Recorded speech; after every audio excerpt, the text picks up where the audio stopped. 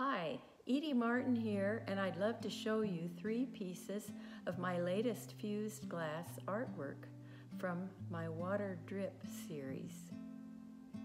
The first piece is called Daffodil Brilliance. This piece has many shades of yellow, along with dots of dichroic glass as accents in the design. It has a matte finish on the front side and a soft gold mica finish on the backside. Daffodil Brilliance is 17 and a half inches in diameter, and you can see a side profile in the second photo.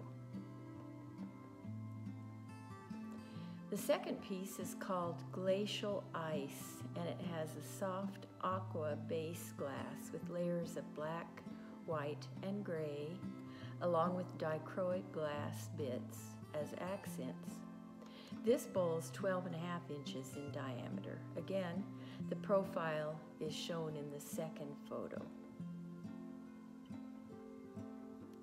The third piece is called Jeweled Monochrome, and this one has black, white, and gray layers fired on a clear glass base, along with decorative border of dichroic glass bits.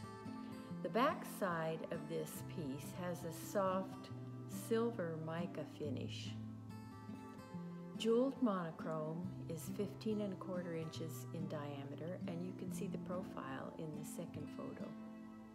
Each of these bowls comes with the heavy metal display stand that you've seen in the photo, but has a flat bottom so that it can sit on a flat surface if desired.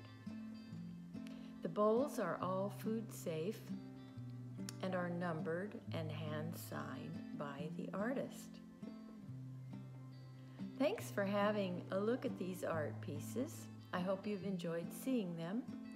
All of them are on my website, so for further information, feel free to check out the website or call, text, or email me. My web and contact information will follow.